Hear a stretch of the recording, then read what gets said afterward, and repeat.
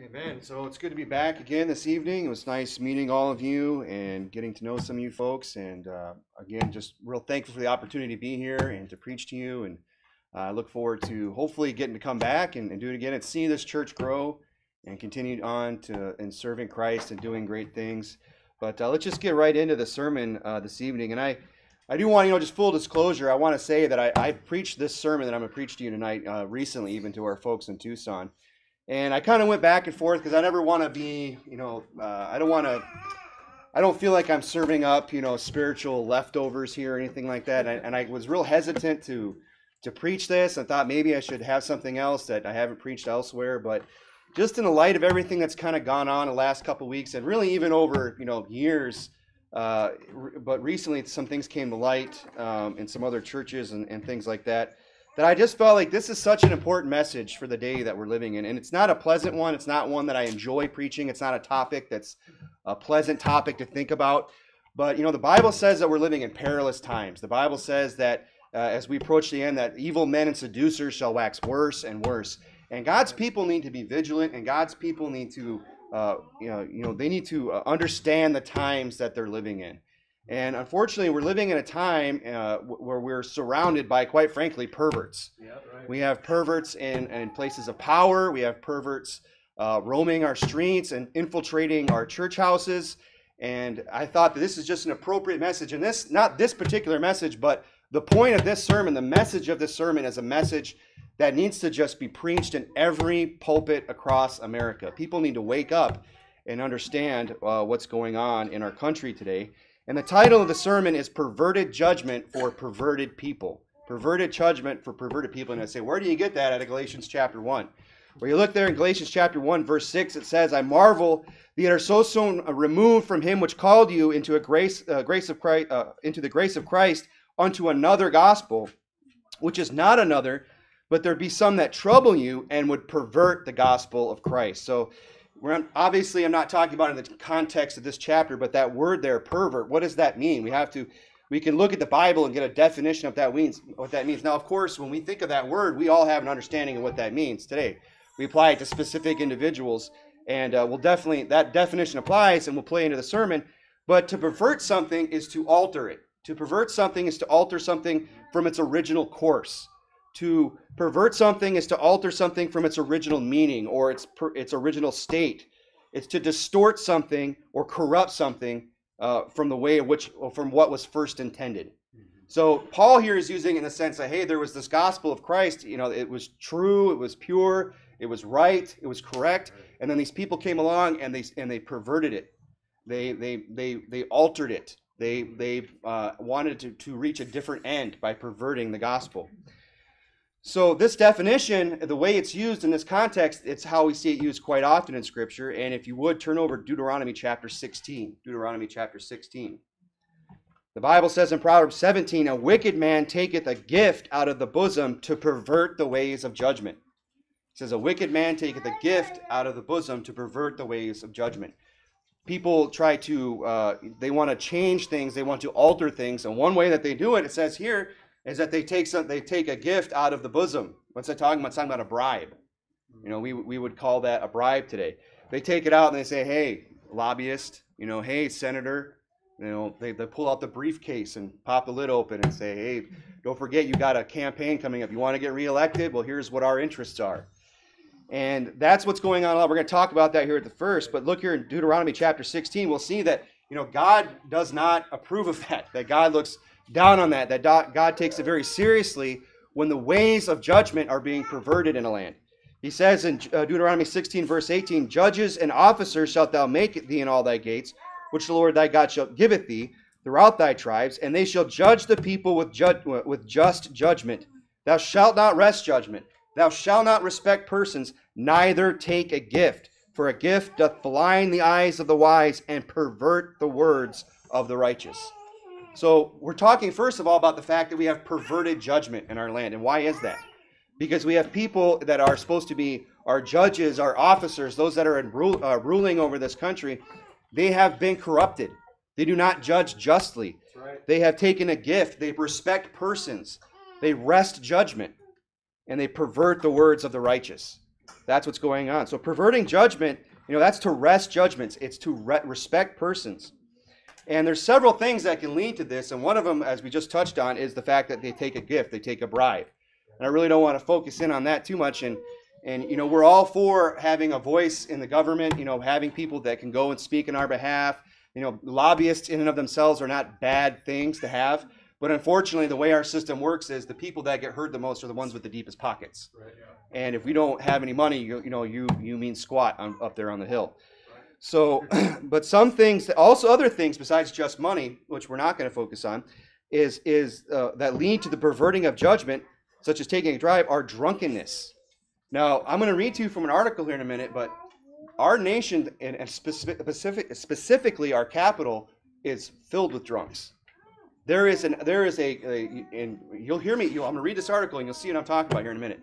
That our our government is just filled with drunkards the people that are in the highest places of judgment in our land, they have been corrupted. Their judgment has been perverted by drink. The Bible says, and if you would turn to Deuteronomy chapter 4, it says, It is not for kings, O Lemuel, it is not for kings to drink wine, nor for princes strong drink. And why is that? Lest they drink and forget the law and do what? Pervert the judgment of any of the afflicted. And that's exactly what we see going on in places like Washington, D.C., any of our state capitals. There is a culture of drunkenness there. It says in Deuteronomy chapter 4, verse 17, Thou shalt not pervert the judgment of the stranger, nor of the fatherless, to take a widow's raiment to pledge. So God looks down and he says, when he sees a, a land perverting judgment, he is not pleased. I mean, this is something that God uh, lays out in his law that judgment is to be just, that judgment is to be righteous, that there should not be uh, a taking of bribes, that there should not be respecters, uh, respecting of persons.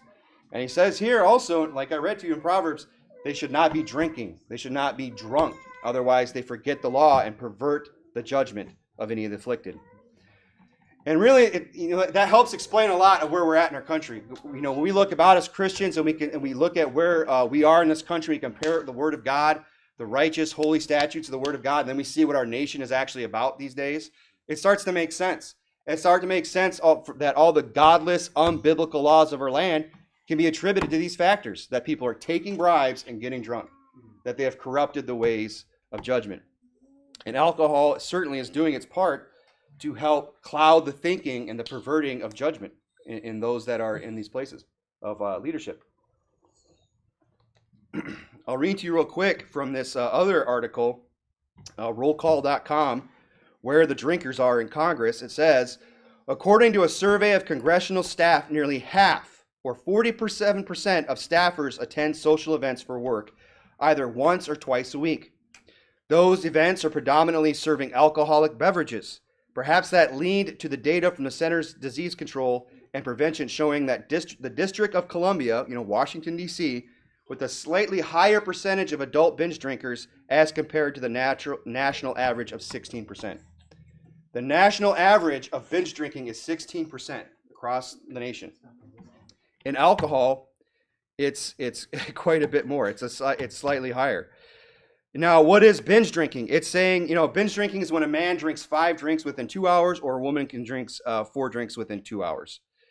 And what this basically, let me just summarize this, what this article says and the facts here without, because if we start to read facts, they start to lose people. It says congressional staffers, right? Are, they tie. So these people that are on staff, working for congressmen, working for representatives, people that are working in the halls of judgment in our land, that make laws, that pass laws, that enforce laws, eh, they are that's who they are, that's who they work for. They tie for second place and are led by only half a percent for first when it comes to binge drinking.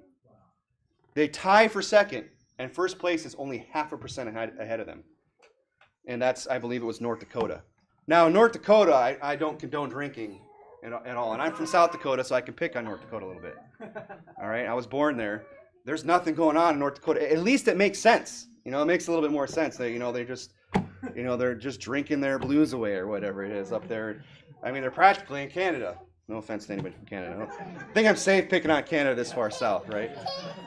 But I mean, in Washington D.C., second place, tied. Are you kidding me? Half a percent away from being in first for binge drinking? It's ridiculous. And you know, it gets worse. I mean, that sounds bad enough, but I had this article here and I'm going to read to you from, and please stay with me as I read from it. Uh, Washington's heavy drinking ways in Spotlight from The Hill. This is not, you know, your fundamental publication here. This is not an independent Baptist, you know, this is The Hill. This is a very, uh, you know, worldly news source. And it says Washington, D.C. has the highest rates of binge drinking and problem drinking in America. That's how the article starts out. It's a booze, booze problem fueled by a uni- uniquely stressful environment where many of the corporate uh, structures of accountability and oversight don't exist. From the executive branch to Capitol Hill, K Street lobbying firms to high pressure newsrooms, free alcohol is easily accessible. What are they saying? That alcohol and drinking is part of the culture up there. It just, it just, it's part of the job. Going up there and going to these meetings with these corporations and staffers you know, you walk in the office of some congressman and he's going to offer you a whiskey or whatever it is. It's just part of the culture. The days of the three martini lunch may be gone, but they have been replaced by hard partying nights filled with fundraisers, receptions, or long bar tabs. And he, there's one here, this one particular story that's going to blow your mind that this kind of thing even goes on in in a place where, where righteous judgment should be, where there should be uh, righteous laws being handed out. But what do we see instead? Perversion. We see a perversion of judgment. it says here there is a, this is a quote there is a strong push and a culture of intoxication in DC. It's been like that for a long time, said Kevin Sabet, who served in White House, the White House offices of National Drug Control Policy in three different administrations. It's not a Republican or Democrat issue. It really cuts, cuts across all ideologies. This weekend, and this was written, you know, around the, the, holiday time uh, about a year ago, this weekend, Washington's political class will hobnob during at least 10 events surrounding the White House Correspondents' Dinners where drinks flow freely. The most common complaint at the dinner itself is that empty wine bottles are not replaced with sufficient speed. This is Washington. This is what's going on. During the holiday season, it is possible to spend weeks in a row drinking free while hopping from reception to reception, sponsored by all manner of corruption. Uh, corruption, that's probably the right way to say it corporations and interest groups. So he's saying, look, when it gets around, that's what's going on. That's around the Christmas season right now. And there's people up there in Washington around, they're just going from one party to the next, one party to the next, drinking for free, drinking for free, you know, and, and uh, just being influenced by all these different corporations and interest groups. Being corrupted, allowing judgment to just be perverted, know, allowing themselves to be bribed and, and, and bought with something even as simple and base as alcohol. Half a dozen current and former aides and members of Congress, all of whom asked for anonymity, I've never been able to say that word, to shed light on an unsavory side of the culture within the government. So these people, they say, hey, we'll tell you what it's like, but we got to remain anonymous. Said these people said a combination of factors contribute to a heavy drinking environment. Members are away from their families for long stretches of time. That's their excuse. Well, I'm away from my family. That's not an excuse. Then go home. Quit living like a drunk. Maybe the job's not worth it. If you can't take a job that's that serious and get and remain sober, and your excuse is, "Well, I'm just away from my family so much," well, then quit. You know, your family's more important, right. and, and, quit perverting judgment. I love how they just throw out there, "Well, you know, we're just away from our family so much." Lobbyists and supplicants are eager to please, whether via campaign contributions or a cocktail. So if they can't get you with the, the money, the contribution, they'll just give you some free liquor. I mean, that's that's that's pretty cheap, isn't it? You can be influenced by here, have a free drink. What a joke. And a few former rules of governing workplace environment exist in the halls of Congress. Uh, and few former rules governing workplace environment exist in the halls of Congress. So it's not like they have a lot of rules there to say, hey, you know, when you're on the clock for the U.S. government, you can't be tipping back. And they say, go right ahead. There's no oversight. There's no nobody keeping these people in check virtually everyone who works in or around government has a story, and we're going to read about one here in a second. It's do as I say, not as I do, said one Republican from um, former member of Congress. Now, now listen to this story. You, I'm going to read you this story, and you would think I was talking about a frat house. You think I was talking about some place on some college campus somewhere, but it's this is the halls of judgment in our land. Is where this is taking place because it's, been, it's perverted up there. One senior Senate, senior Senate uh, aide, senior Senate aide, not a junior member, a guy who's been there a while, right? Recalled his early days on Capitol Hill when the member of Congress uh, for whom he was interning found a door off its hinges in the Longworth House office building. So he's going into uh, where he's interning, his place of work, up there in Washington, and he walks up, and the door's taken off the hinges. And he'd say, well, well, what? Why would you take the door off the hinges? Well, it goes on. The door became a table which the which the member and his staff would play beer pong. That's what they did with the door in Washington. They took the door off and decided, well, let's play beer pong up here. Now, I mean, that just shows you how shameless they are. That they took the door off because now anybody can just walk in and catch you playing beer uh, and playing beer pong. That just shows me that it's just common practice that they just people would probably laugh. Oh, where's your door? Oh, you're playing beer pong. and meanwhile, our judgment in the land is just getting perverted. And we'll see the effects of that, per- that perversion here in a minute.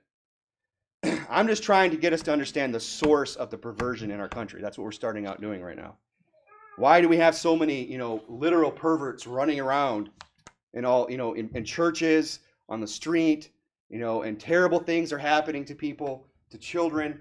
Why is that happening? Because they're too busy playing beer pong up there. Right, right. Because they're too Amen. busy getting drunk and getting liquored up, and their judgment is perverted. and he says they began. Uh, the door became a table on which the, this member and his, of, and his staff would play beer pong, positioned over a conference room table, so as not to leave stains on the more permanent furniture. Well, we wouldn't want, you know, we wouldn't want to stain the furniture. You know, that we, you know, no, never mind staining America's moral fabric, but we'll go. Let's just protect the furniture. Uh, the tournaments began before noon on Fridays and lasted often until midnight. Excessive drinking among America's political leaders is as old as the republic itself, and it goes through Washington, Truman, so on and so forth. And it says here in more recent years, ex Representative Mark Foley from Florida admitted to being drunk when he sent inappropriate text messages to underage pages. So his, perver- his, his judgment is perverted, and he himself is a pervert. And it's all thanks to drink.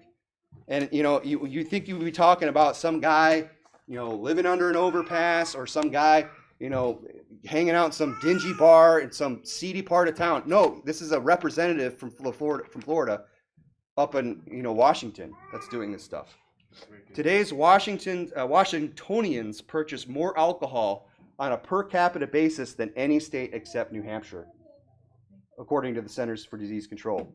Nearly a quarter of the district residents are binge drinkers, defined assuming more than five drinks in an evening. That is the second highest rate in the nation behind North Dakota. See, I was right. And Washington bears higher economic costs of problem drinking than any other state. Alcohol, problematic drinking is having a more of an economic, devastating effect on our nation's capital than any other state in our country. a, part, a part of the higher rates comes from the high stakes nature of government jobs. Well, I will admit that it is a high stakes nature, isn't it? When you're passing laws, when you're when you're the one up there that's going to decree the law of the land, you bet it's high stakes. You bet it's going to affect people's lives. Mm-hmm. Millions of people will be affected by what goes on up there. So, but they want to make that sound like, well, because it's such an important job, we should just get drunk. We have to deal with the stress. It's the complete opposite, Fred. The Bible says that you should have clear thinking. You should be sober. Why? So that you don't pervert uh, judgment in the land. So that you can wise, uh, wisely judge. You can have righteous judgment. They've got it completely backwards. we know that high power jobs, high income, and that is a risk factor for excessive drinking. You have a lot of people in powerful, high paying jobs downtown. People with money and stressful jobs tend to drink more. And you know what else they tend to do? They tend to pervert judgment in the land. That's what they end up doing. And you say, well, I'm not so sure about that. Well, let's, you know, let's look at, let's consider some of the, where we're at in this country when it comes to this topic of perverts. Go over to Jude chapter 1. So we see, first of all, that one form of perversion is when judgment is being perverted in a land when people are not judging righteously, when they're judging corruptly, when they're wresting judgment, when they're uh, decreeing wicked laws, when they're clearing the guilty and condemning the innocent, judgment has been perverted. That's one sense of, of, of perversion. Another uh, sense of perversion, and I'm trying to keep this as as uh, look. I don't want any parents to have to leave here and explain the birds and the bees to their kids on the way home. Okay, So I'm, I'm gonna I'm gonna use uh, some some other words to describe this. Not that I'm replacing words that are derogatory, okay? But the other definition of pervert or perversion would be a person whose venereal behavior. I think we all know that. If you don't know what that is, you probably don't need to know. His venereal behavior is regarded as abnormal and unacceptable, right? That we would say that person is a pervert. You know, that, then that could encompass a whole list of things. And what does this look like in Scripture? Can we see an example of that? Well, yes, we can. There in Jude chapter 1, verse 7, it says, Even as Sodom and Gomorrah and the cities about them in like manner, giving themselves over to fornication and going after strange flesh, are set forth for an example, suffering the vengeance of eternal uh, excuse me, the vengeance of eternal fire. So a pervert is somebody that would go after strange flesh, right? Because a pervert is somebody whose behavior in that regard is abnormal, it's unacceptable. They desire strange flesh. When someone's desiring something strange, you say that's that's weird. Another word for me would be queer, right? That's a perfect word for it. Because all queer means is bent beyond repair. It means you're not straight. You take something and you bend it, you've made it queer. And you can't get it back to being straight again. That's where those terms come from queer and straight. It's being bent, it's being queer, it's being uh, abnormal, it's being unacceptable, it's being a pervert, is what we would call it. It's being uh, somebody that would go after strange flesh. Strange flesh, meaning flesh which is uncommon or unnatural. Another word would be there in Romans chapter 1, if you want to turn there real quick. we'll see another way you can uh, uh, define this. Define this behavior. You know, somebody who would go after strange flesh, you know, would go somebody who would go after something that's unnatural or uncommon. Romans 1 26, I'll begin verse uh, there, uh, verse 26, I'll begin reading. For this cause God gave them up unto vile affections, for even their women did change the natural use into that which is against nature. And likewise also men, leaving the natural use of the woman, burn in their lust one toward another. Men with men, working with that which is unseemly, and receiving in themselves that recompense of their error which was meet. And even as they did not like to retain God in their knowledge, God gave them over to what? A reprobate mind to do what? Those things which are not convenient, things that are strange, things that are unnatural, things that are uncommon, things that are abnormal and unacceptable, things that are perverted. He's describing perverts here. So, perverts are people who have been given over to a mind that desires strange flesh, flesh that is not convenient, flesh that is nor- that is not normal to human desire. It's not just you know your your your common everyday fornicator. Mm-hmm. It's somebody who has a strange perversion that desires things that normal people would not. Now, if you would turn over to Ecclesiastes chapter 8. Ecclesiastes chapter 8. So we see, first of all, that pervert can describe a person with abnormal physical desires, right? It can also refer to a person or refer to a uh, refer to possessing or influencing a corrupted sense of judgment. You know, those people up there who are playing beer pong that are, you know, senators and representatives and their staff that are playing beer pong and who knows what else. You know, their judgment are they're perverts in the sense you know, at least that their, their thinking is perverted. And many of them are perverted in the other sense as well. so, look at it and you say, well, what does this matter to us? Well, here's the problem with being having perverted people in judgment is that it leads to more perverts of the other kind. It leads to more perverts uh, in our in our society. Perversion in, uh, perversion in judgment leads to perversion in behavior. Or another way of saying that is a perverse government and a perverse people go hand in hand. When you have a perverse government, it, it should not surprise you when you say perverts flourishing in that land and being protected. Look there at Ecclesiastes chapter 8, verse 11. This is, this is something every time I read some horrific news article about some terrible thing happening to uh, a child or a, a, anybody, really, especially when it's of a venereal nature, when it's carnal in nature, is I think of this verse. It says in verse 11, because sentence against an evil work is not executed speedily, therefore the hearts of the son of, sons of men is fully set in them to do evil. What's the Bible saying? It's, it's telling us that when righteous judgment is slow, or even worse, absent, when it's slow or absent, perverse men become emboldened to act on their desires. That's when the perverts say, hey, there's no consequences. Or the consequences are something that I can live with. and they and then the, things that they might not otherwise do because of the consequences, now they're emboldened to do them. They say, "Hey, what's the worst that could happen? You might go to jail for for a few years. I might end up on a list somewhere. You know, I might have to. I might. I might not be able to get a good job, but you know, so what? I got to fulfill this wicked lust that's in my heart. so, perverts. You know, the problem is that having perverts in a, a perverted judgment in the land is the fact that perverts that they rule over are emboldened to do wicked things. You know, the perverts in society, they see these light sentences that are handed out in our society, and they are. They and we'll talk about that here in a minute. They see these light sentences that are handed out.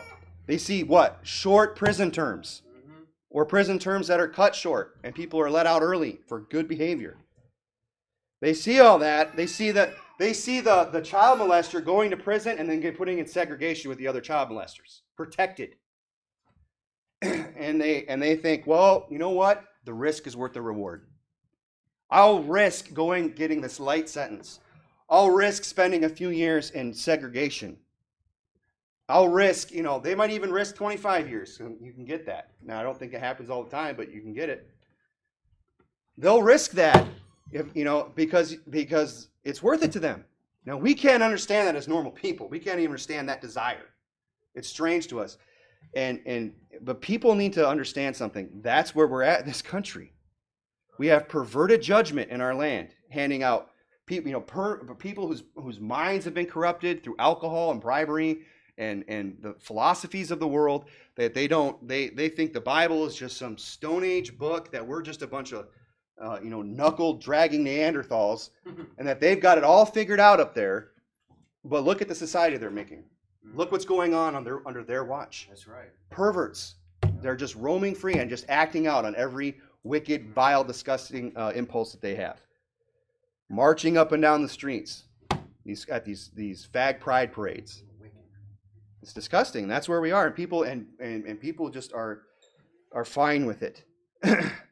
so again, these perverts, they see these light sentences, they see these short prison terms, and they say it's worth it. They say, you know what, evil or, or, or judgment, uh, sentence is not being carried out at, at, at all. if at all, it's not being done speedily, and therefore my heart is set to do evil. And that's what they do.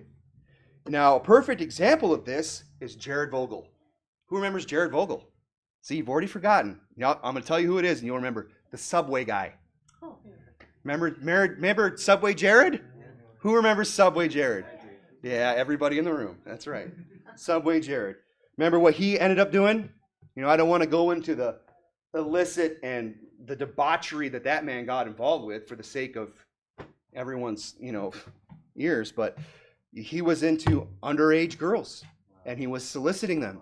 He was uh, employing other underage girls to go and solicit them for him. He was distributing child pornography, this guy. And he got busted. And you know what? They, they made, they were going to make an example out of this guy. Well, he went to prison, he got beat up, and then you know what happened? He got put in segregation. And there was an article, I won't read the article, but I'll give you the gist of it. This guy had known Jared Fogle in this, this wing of the prison or whatever he was in. And he came out and said, Hey, you know what? Jared Fogle's living the high life in prison. Jared Fogle's doing all right. And I'll tell you what's going on with Jared Fogle. Jared Fogle's not fearing for his life. Jared Fogle's not living with the scars of what he did, uh, you know, ruining his life. The people that he hurt, you know, who knows what, who knows what they're still going through. Uh, but Jared Fogle, he's living the high life. That's what the guy said in prison. He's in a dry cell. Now, what is a dry cell? It means it's an open door. You can come and go out of your cell as you please.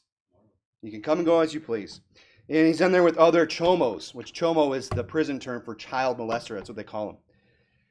He's in there. What else is he doing? He's playing online poker. That's what this guy says. He's in there. He's gambling. He's watching movies. They have movie nights. He's getting his culinary arts degree. The man has got a degree in culinary arts. A child uh, rapist, a, a violator of children in our land. That, that's what got handed out to him. So now there's some other pervert out there that looks at Jared Fogle and goes, that's not so bad. Maybe, maybe I'll go do what he did. And that's what the Bible's warning us of there in Ecclesiastes. When we do not execute uh, justice and, and judgment and sentence speedily, the hearts of men are setting them to fully to do evil. And Jared Fogle is a perfect exam- example of that. You say, I don't know, I think you're blowing this out of proportion. Okay, do, you know, then go home tonight and Google like prison sentence child rapist and, wa- and just read them. Or just rapist. And go read just the story after story after story after story in our country. And not just not just people that you would wouldn't surprise you. I'm talking I mean sheriffs getting busted doing this, cops, everybody. Judges, it's corrupt. And why is it? Because we have perversion in, our, in the judgment in our land. The, the, the people that should be executing uh, righteous judgment speedily upon these wicked people are drunk and they're bought and they have no discernment. And now people like these Jared Fogles come up and uh, they're just living the high life. Did you know in the United States it is illegal to execute pedophiles for their crimes, with one exception? I mean, I, again, I, I don't want to frighten any of the kids. I don't want to, you know, but this is where we're at in this country. This is where we are today. And this and this and we need to understand this. And you say, well, what's the application? We need to protect our children. Because these people are emboldened. That they're they're coming into our church houses. They're getting up behind the pulpits. They're taking positions of power. You know, and, and they're creeping in. You know, and that's why I'm that's why I'm glad I'm in another church that doesn't have a nursery, that doesn't have a children's ministry. I'm glad for that. Yes, right. You know, and and if it and that's a whole nother and I'm not saying everybody that works in a nursery is one of these people.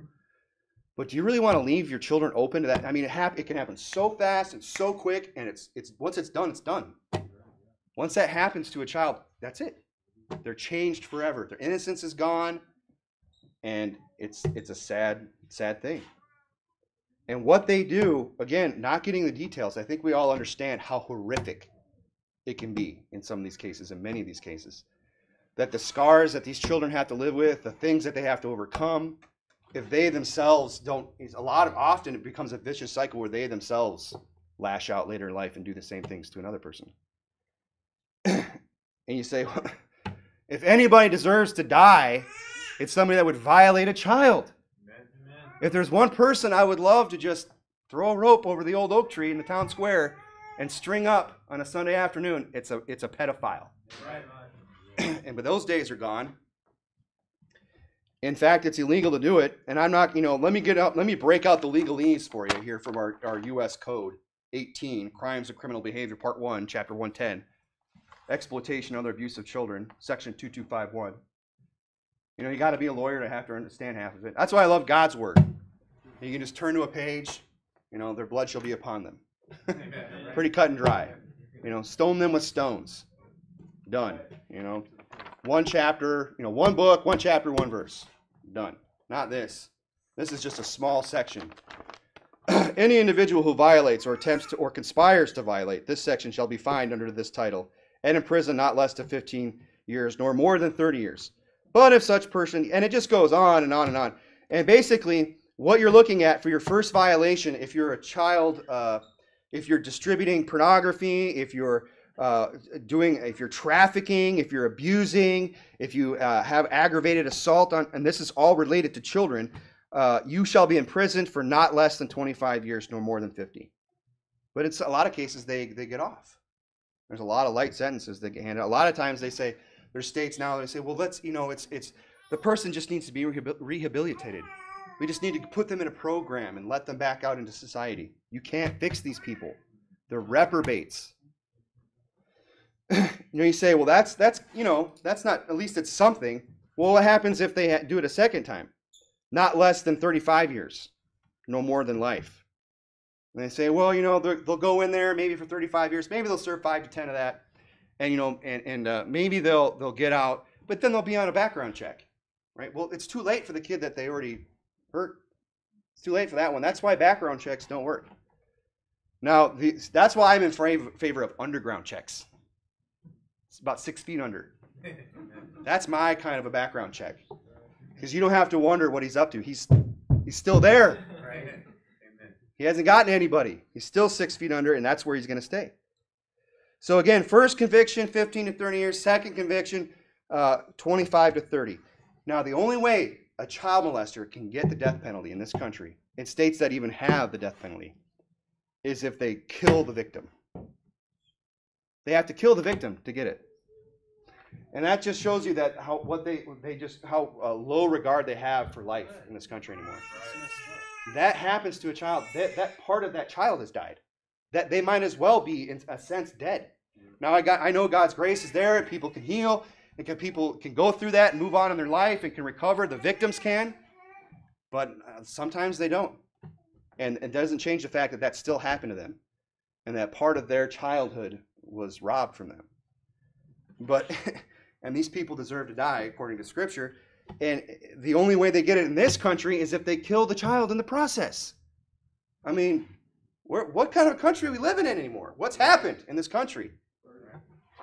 You know, it, it's like it's like living in a, it's a madhouse anymore. I mean, to sit there and to think, you know, that's justice. To think that's judgment, you'd see you'd have to be drunk to think that's justice. Right. And that's exactly what's going on. A bunch of drunks think that's judgment. They think, oh yeah, that sounds fair. We must be drunk. Oh well, we are. Well, it makes sense. Now I can connect the dots. It's all coming together for me. You know, the Bible says, you know, to judge righteous judgment. That's what we're supposed to do as God's people, and that's what should be going on in this land. Go over to uh, Deuteronomy chapter 32. God wants us to justify the righteous and condemn the wicked. That's what it says in Deuteronomy 25. You're going to Deuteronomy chapter 32. People say, you know, and then there's that the favorite the favorite verse, uh, liberal verse of all time. You know, John, uh, you know, it's not John, but it's uh, Matthew. You know, judge not, judge not, except you be judged. With what judgment you well, it goes on, friend. It doesn't end there. Judge not, except ye be judged. It's not. It's talking about not being a hypocrite in judgment. It's not saying don't ever judge. They love that verse, but let's turn them over to John seven. Judge not according to the parents, but judge righteous judgment. You know, don't don't look at them and go, oh well they that poor child molester they just had you know they had a, a rough upbringing themselves and you know they're they can you know they can be rehabilitated and put back in society and and still serve a purpose. You're judging according to the appearance and that point you're not judging righteous judgment. The crime has been done and the judgment must be doled out and, and, and justice must be served. And now let me say this because we always have to clarify these kind of sermons, right? Because that's what everyone wants to get in the comment section. You're you're trying to raise an army, you know. You're advocating violence. No, I'm not. Did I tell any of you to go out today and and, and to, to take things into your own hands? No, I haven't said that. And let me go a step further and say this: being murdered in jail is not righteous judgment. And that's what happens to a lot of these these chomos when they go in there. Because when you go in as a chomo, you're the lowest tier person. You are a marked man in prison. You know, it takes somebody in prison who, in all likelihood, should probably either not be there or be dead themselves, you know, murderers, to figure out what should happen to these people. Because our leaders are too drunk to figure it out for themselves. we have to have, let the lowest dregs of society execute judgment upon these people. And I'm not advocating it. And, but what that is, what that shows us, is what a sham our legal system is. That's right. It's a shame to our society when judgment, the proper judgment has to be carried out by somebody else who's locked up. And I'm not advocating it, and I don't think it's, it's something that should be done. I'm just pointing it out because of the fact that it's a shame. It just shows you where we're at. And let me say this this sermon is not to call for vigilante justice. I'm not saying that at all. I've been saying the whole time the problem is, is that the people that should be executing judgment upon these people are drunk and corrupt and perverted in their thinking. this sermon is pointing out the perversion of justice by the proper authorities and the perversion it breeds in society. That's what the sermon is about. It's not a call to arms. Let me say this striking a plea, deal, plea deal with a guilty predator is not justice. Striking a plea deal with a guilty predator is not justice. You say, well, the victim's happy for it. Good. If the, if the victim feels like they got justice, Fine, good for them. But according to Scripture, that's not justice. I mean, it's something. It's better than nothing. At least you have an admission of guilt. But then you have these guys that are going to spend 90 days in jail because they struck a plea bargain. People that took advantage of impressionable underage girls and exploited them. And, who, and, and all other manner of things that go on with these perverts. They get off. They get easy. They get a light sentence. You know, a, you know what inspired this one was that that guy Cameron Giovanelli. Who knows who I'm talking about? He was all over Facebook and everything else. He was, you know, getting called out by another pastor for over a year for the things that he did as a pastor of a church. You know, violating a young girl in his congregation on a, almost a daily basis at the church building for over a year. And he gets caught, he gets busted, and he goes to jail or he goes to, to trial, strikes a plea deal. And the guy's uh, getting a light, he's getting a slap on the hand. Wow. And you know what? If the, if the victim's fine with it, you know, good for them. I'm glad that they feel like they've got some justice. But I'm not going to sit back and call that justice. And, and, because now there's some other guy who says, oh, all you got to do is plead guilty? Hmm. Well, let me put on a suit. Let me go to Bible college. Let me get a, a church somewhere. Let me use my position authority and I'll do the same thing. Because what's the worst that can happen? If I get caught at all, you know, I, if they, you know, a lot of times, all uh, that'll happen to me is I'll just get shuffled around from one church to another. That's what happened to this Cameron Giovanelli. You got, you know, you just they shuffle him around. Oh, come here. It happens all the time with, the, with these with these perverts. It's like the Catholic Church now with independent Baptists, and it's a shame. And now there's, you know, the world's taking notice and they're writing whole articles, and it's a reproach to the name of Christ that these perverts can walk into churches and get in these positions of power, and instead of getting called out and instead of getting uh, you know, called on the carpet and handed over to the proper authorities, they get moved around. They get covered up, get swept under the rug. it's wicked as hell. and that's what happened to this guy, and he gets caught, and he gets a little, that's enough. Don't do that again. Yes, sir. You would say, well, what is what is the, the biblical punishment for these people? Death. that's right. Bible says in Luke 17, and this is the words of Jesus Christ, then said he unto his disciples, It is impossible that offenses will come, but woe unto him through whom they come. It were better for him that a millstone were hanged about his neck, and he cast into the sea that he should be that he should offend one of these little ones. He's saying, you know what? You should tie a millstone around that neck and cast in the sea. You know what I, I heard recently, and I never even noticed it, is it says that if you were to take one of these perverts and tie a neck or tie a millstone around their neck and cast them into the depth of the sea, it says it would be better. Yeah. It would be better. Mm-hmm. That would be the best that they could hope for. Because, you know, I'm kind of getting my head at myself a little bit here whatever wherever man fails in judgment, God has is not going to. That's right. when God gets a hold of these people, it would be better that he just it would be better for Cameron Giovanelli if we could tie a, a, a millstone around his neck and he could be cast in the depth of the seas and he could just live there for eternity. That he could just somehow miraculously just live there in the dark, cold depths of the ocean with all kinds of uh, sea creatures picking at him than to get what is actually going to come to him. And that would be better than when God gets a hold of him and what he's going to do to him in hell. it says in Exodus 21 He that stealeth a man and selleth him, or if be found in his hand, he shall surely be put to death. That's your child trafficker. That's your human trafficker. Someone who would steal a man and exploit them, sell them. And that's a real problem that we have in this country.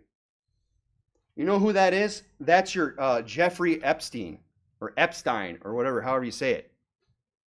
And, you know, I appreciate the cleverness of the memes. Has anyone seen the Epstein memes? You know, Epstein didn't hang himself. It's all over Facebook. You think you're reading, you know, a coffee house menu, you know, espresso, latte. Epstein didn't hang himself. You know what I'm saying? They, they sneak it in here, there. You know, the, it's this clever thing to try and remind everybody that he didn't hang himself. You know, and, and, and for, you know, it's clever, but here, let me just say this. You know, Epstein might not have hung himself, and, and, and maybe uh, he did. I don't know. But either way, I'm glad he's dead. Amen. That's right. Does, I wonder sometimes the people that are making these memes have actually looked into who that guy was and what he was involved with and the level of perversion. I would tell you to go look at it, but I already have, and I, it, it's filthy, and I would not suggest it. Don't go watch the 60 Minutes report on Henry Epstein or Henry Jeffrey Epstein. Sorry, Henry, whoever you are, you're out there. you know, it's wicked. That guy was a filthy pervert, and he violated thousands of underage girls. The man is wicked as hell. So I don't want to even, you know, and I know people aren't doing that with those memes and things like that, but let's not make a martyr out of the man. I'm glad that dude's dead. You know, I, I hope he hung himself. I hope he did do it himself. You say, but we could have caught, you know, the elites that he was providing these underage girls to. You know, the Bible says it is a shame to even speak of those things which are done to them in secret. And they're going to get theirs one day anyway. Right. And he probably didn't hang himself. You know what? I kind of hope he did. Because that would show you the man at least had one sliver of shame right. for what he did. But he probably just did it because he knew his life of debauchery was over. you know, I have no desire to hear. I, am glad he's dead because I don't. I don't want to see that drug out in the media. I don't have no idea, desire to hear the sordid details of right. everything he was involved in. It's bad enough, you know, Prince Andrew that was involved with him in the so-called royal family is, is is caught up in it now. I'm sure we'll have to continue to hear about it. Another good reason to just throw out the TV so we don't have to hear about this garbage. Because here's the thing. Said, well, we could have caught the other people that were involved. They got it coming. It were better for them that they tied a millstone around their neck and jumped to the sea. The Bible says, and if you're there in Deuteronomy chapter 32, look at verse 32. For their vine is the vine of Sodom. I mean, you just read this, and the Bible is just so true today. It's just, it just, it's so applicable today. It's like you could be describing Washington right now. Their vine is the vine of Sodom and the fields of Gomorrah.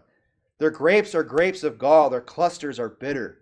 Their wine is the poison of dragons and the cruel venom of asps. Is not this laid up in store with me and sealed among my up among my treasures? What's God saying? He's like, I know it, and I'm keeping track, and I know exactly what's going on. To me belongeth vengeance and recompense. Their foot shall slide in due time, for the day of their calamity is at hand. And the things that shall come upon them shall make haste. They're not getting away with it.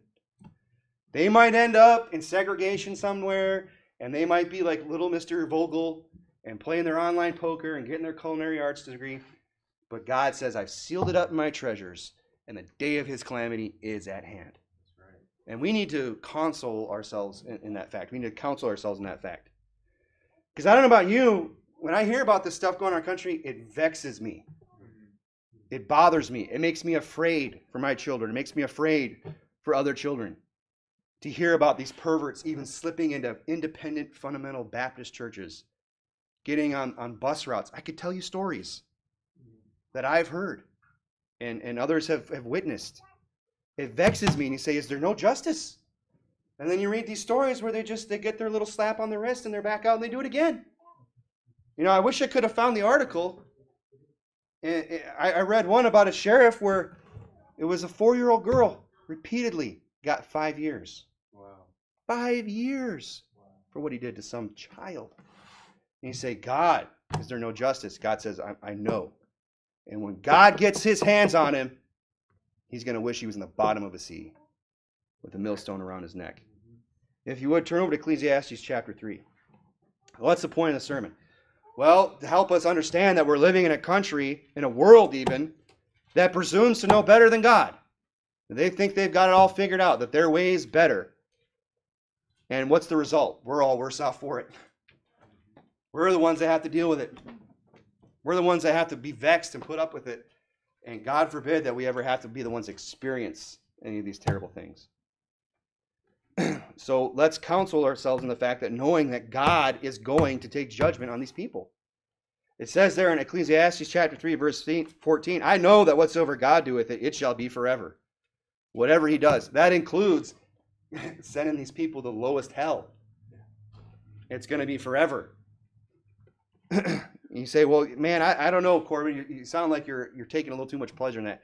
Well, you know what? Let them go, go down quickly into the pit. Let death seize upon them. Let them go down quickly into hell. That's the same prayer as the psalmist. God says nothing can be put to it, nor anything uh, taken from it. God doeth it that men should fear before him. We should learn, people need to learn to fear God. We talked about this this morning. That which hath been is now, uh, which hath been is now, and that which is to be hath already been, and God requireth that which is past. You know, the, the, the, the, wicked, filthy things that, that people are, the, the, the wickedness and the powers and the principalities and high places and the things that they do, they've been, it's been going on forever. I mean, they've been doing this type of thing all the way back to Molech when they were burning them in the fire and everything else. And now there's nothing new with God. And God judged them, and God will continue to judge. And he said in verse 16, And moreover, I saw under the sun the place of judgment, that wickedness was there. that Washington was there. Oh, I mean, wickedness.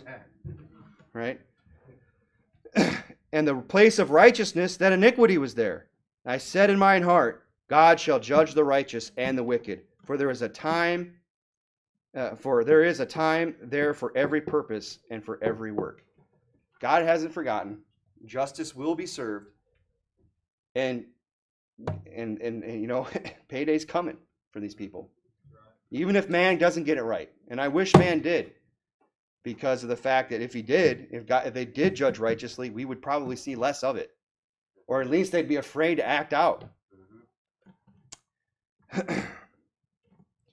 Saying, well, I don't know, is, does God really want to uh, do all these? Does he really still like this? Absolutely. I mean, God hasn't changed. He said, uh, because the cry of Sodom and Gomorrah is great, great, and because their sin is grievous, I will go down now and see whether they have done uh, altogether according to the cry of it, which has come unto me. And if not, I will know. God's going to get to the bottom of it, of every wicked, filthy perversion that's out there. And he's going to judge the guilty. so, you know, who knows better? Jesus, God, or some drunk liberal judge in Washington? Who's got, who's got the righteous judgment tonight? Our political leaders or the Word of God? You know, I'm going to side with the Word of God. Because our leaders, they've erred. They've perverted judgment through strong drink and wine. There's no righteous uh, judgment of, for perverts in our land because of the perverts we got in high places. And, you know, it's a word of warning to you tonight. It's a word of warning to watch your children vigilantly. Don't leave them. I, I don't leave my kids with people in church. I don't I don't suspect anyone in my church of being a pervert. But you know what? We've had them. And they've got run out on a rail. You know what we didn't do? Cover it up. They got called out and turned over to the authorities when we found out. But they were in that church for over a year before we found out. Guard your children. You know, uh, Pastor Anderson's got it right with his with his. Uh, I believe, you know, for me in my house, he's got it right. You know, trust, uh, suspect no one, trust no one. You know, just guard your children because it, I mean it's it's going on, and these people are out there because there's no righteous judgment. So it's a word of warning tonight to watch your children, protect your children. Don't leave them with, with strangers. Don't leave them with people that you don't know. And and and uh, and you know you need to do with that what you will. And it's also you know believe it or not, it's supposed to be an encouragement. this sermon, I'm trying to encourage you because I'm sure a lot of this isn't news to, to many of us.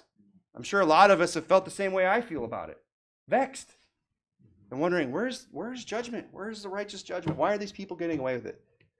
They're only getting away with it for now. Ultimately, in the long run, they're not. and really, our only solace as this society continues to decay, and it's it's gonna get worse. You know, let's just again, I'm trying to be an encouragement, but let's be a little bit realistic. The Bible says that it's gonna wax worse and worse. Not that love of many shall grow cold.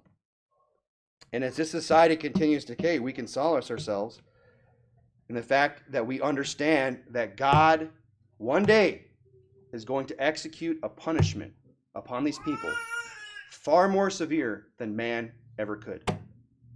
I mean, when you think about it, executing these people quickly is almost it's merciful on, from man's perspective. Like, why does God? I mean, isn't it isn't it more of a punishment to lock these people up? No, because you're sparing them from God's judgment. The real punishment is after they die, when God gets a hold of them, and God will get a hold of them. So let's just solace ourselves in that fact, fact and let's protect our children in the meantime. Let's go ahead and pray.